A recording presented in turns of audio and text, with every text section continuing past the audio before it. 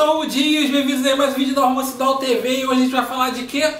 One Punch Man, esse mangazaço aí incrível, né, que tá tendo uma repaginada pelo Yusuke Murata, Murata Deus, obrigado por tudo, One, obrigado pelo roteiro, por criar essa história incrível, e aí a gente continua aí falando da série no capítulo 139, que agora tá focando né, no Imperador Infante e a como ele está invadindo lá o covil da Associação de Monstros, né? Essa classe S é muito foda e o Imperador Infante tá me cativando demais, né? No capítulo anterior acabou topando lá com o G5 e aí tipo as flautinhas, o campo lá de eletromagnético para impedir ele não funcionou e ele tá tipo, porra, já tô começando a ficar sem coisa aqui. E aí solta umas três bolinhas da, da mochila dele e aí vem o cãozinho leal dele lá e aí eles se fundem. É muito foda, são três, né? E aí eles viram tipo um, um cãozinho humanoide robô muito foda.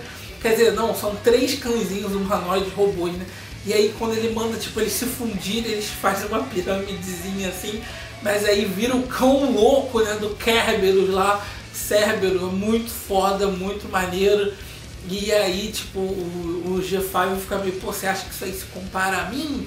E aí, cara, pra ficar mais foda ainda, o Imperador Infante tira um estojo, velho. Só que o estojo vira uma metralhadora. E ele manda lá os mísseis de lápis fuzilando já com aquela gosma também para dar uma colada no cara para restringir os movimentos dele, enquanto o bicho vai lá com um super ataque girando os braços assim. Achei muito foda, só que a gente não vê a luta porque ele já puxa o Agama assim, tipo, vambora. E aí o Agama fica, poxa, eu queria ver a luta de robôs, vocês heróis, vocês não tem que salvar a gente, meu pai falou que a gente paga vocês para isso, blá blá blá, e aí o Imperador Elefante, tá, você tá certo, mas tipo, não tem porque eu perder tempo lá, eu tenho que levar você pra superfície. Essa é a missão, para de encher o em saco, caralho. E aí, quando eles estão passando, eles dão de cara com o cadáver lá do, do Homem Fênix, e aí o Agama. Aí o Imperador fala, calma, calma aí, isso aí é só um cadáver do monstro que eu matei antes. E aí, quando o Agama olha assim, ah, poxa, eu já vi isso aqui antes, essa fantasia antes. E aí o Imperador Infante se liga no que o Homem Fênix falou anteriormente, né? Que ele virou um monstro porque ele percebeu que não conseguia mais tirar fantasia e tinha se tornado um monstro. Eu acho isso de um Punch Man muito foda, que as obsessões das pessoas é, é um dos jeitos delas se monstrificarem. Então eu acho isso incrível, essa coisa da psicologia da pessoa, e aí você se torna um monstro por conta dessa obsessão.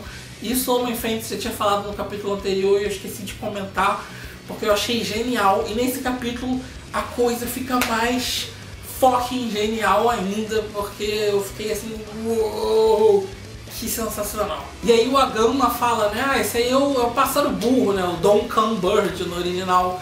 Tipo, ah, ele, o show que ele participava era legal, mas acabou sendo cancelado porque tinha um humor meio pesado, assim.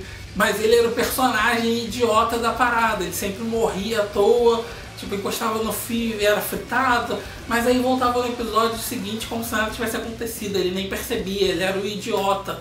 E aí o, o, o Imperador Infante fica pensando nisso, tipo, fica pensando na fisiologia dos monstros, será que tipo ele herdou também essas características da ambientação do personagem e herdou, velho. Então é muito foda, tipo, as obsessões do cara com a fantasia, acabou herdando todo o background do personagem, e aí tem aquele. aquele flash assim, aquela luz, e aí já é o Homem Fênix falando, tipo, ah, o Gyoro, Gyoro mesmo tinha falado que o sucesso para nossa evolução é superar a morte, então aí ele aparece lá em toda a sua glória né, como Homem Fênix ressuscitado, né? Tipo, e até evoluiu, acho que agora ele tá demônio, acho que sim, o nível de desastre dele aí, glorioso, muito foda mesmo, cena muito do caralho. E aí o Imperador Infante, putz, velho, tipo, já tô sem nada aqui, vou ter que encarar. E o bicho ainda, e eles jogam os, os mísseis, não lembro o que, é que ele faz, e aí o Homem Fênix bate as asas, assim, já faz uma explosão. Ele tem que proteger o Agama lá no guarda-chuvinha e vai para cima, velho, com lightsaber, escudo, e aí fala, tipo, vou ter que enfrentar. E aí o Homem Fênix tá lá, tipo, super se achando mega fodão. E é muito legal porque ele tem um rosto humano agora, mas a, o, toda aquela coisa do Fênix ainda tá por trás. Ele fecha como se fosse um capacete, ficou muito foda e fala, ó, agora eu vou te, te dar o meu ataque de novo para você ver como é que eu tô.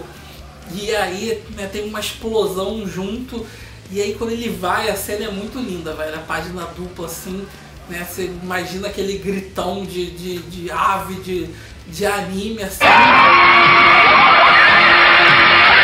Porra, quando vai o, o Imperador Infante bota o escudinho assim, mas mal adianta, velho. O bicho vai quase que três passos ele inteiro, é muito foda. Eu fiquei tipo, caralho, velho, que mangá é esse? Porque eu tava muito empolgado lendo, achei que a luta ficou muito legal, é tudo muito bem desenhado, tudo muito empolgante. Isso assim é, é incrível, assim, é uma experiência de leitura muito foda. As cinco camadas do fucking filme lá, tipo, mega poderoso, não adiantaram de nada, o escudo foi pro espaço, ele só sobreviveu ao golpe, né? E aí enquanto o Homem Fênix tá lá, tipo, super empolgado com ele mesmo, ah, como eu sou foda, eu sou foda agora, ah, e aí ele percebe que o Imperador Infante está chorando, né? Tipo, só que ele não tá chorando de medo nem nada, tá chorando, chorando de arrependimento, de tipo, com meio que bosta ele tá se sentindo, de tipo, ah, poxa, já, já vou ter que usar toda a minha cartada agora, minha última, minha, minha arma final sem nem é, topar com um oficial, tipo, tô chorando aqui diante da minha própria incapacidade, né? E eu achei isso muito do caralho, mas aí ele mexe lá no reloginho dele e aí manda, venha! Tipo, Brave Giant! E é muito foda a cena.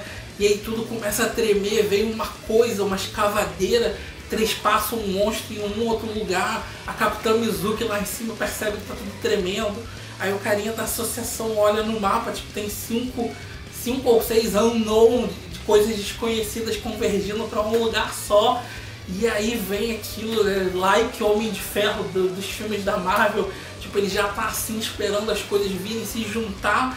E aí isso, só, depois que acontece a fumaça, a gente só vê uma mãozona assim, puff, dando um tapa no Homem Fênix. Achei muito do caralho essa cena.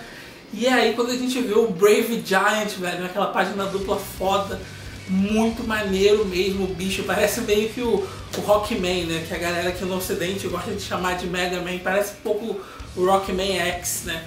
E aí o bicho tá num robozão gigante prestes a descer porrada, velho. Só que aí o próprio Homem Fênix já manda, tipo, ah, se você tava guardando essa cartada para alguma coisa, deve ser que tem umas restrições de uso, não sei o que. E aí o Imperador Infante, tipo, porra, ele se ligou e aí tem um countdown lá de quanto tempo o Brave Giant vai ficar funcionando. Ele, ó, tem que resolver isso de uma vez só.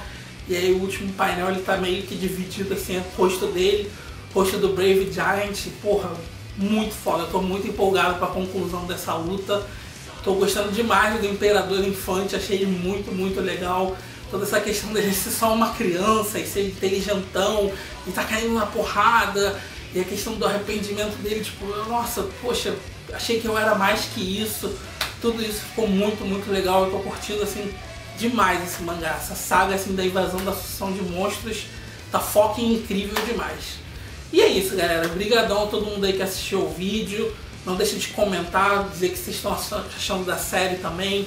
Chamar um amigo para curtir o canal, se inscrever no canal. Se você não está inscrito também, se inscreve. Quem quiser ajudar aqui, ó, padrim.com.br barra dios, barra dios, é, barra dios que aí você pode ajudar o canal monetariamente com um real por mês. E aqui, os meus padrinhos estão aparecendo aí. Muito obrigado, vocês são foda mesmo ajudando o canal. Mas todo mundo aqui que participa, curte, comenta, divulga, tá ajudando o canal também. Mas essa galera aqui eu tenho que agradecer mais porque é foco em especial, né? E é isso, brigadão aí a todo mundo mesmo, a gente se vê aí no próximo vídeo, provavelmente amanhã, que é o vídeo de Jojo, né? Sexta, é, sábado aqui no canal, é dia de Jojo. Então, é isso. Já falei pra caramba, tô out, beijo, me liga. Fui!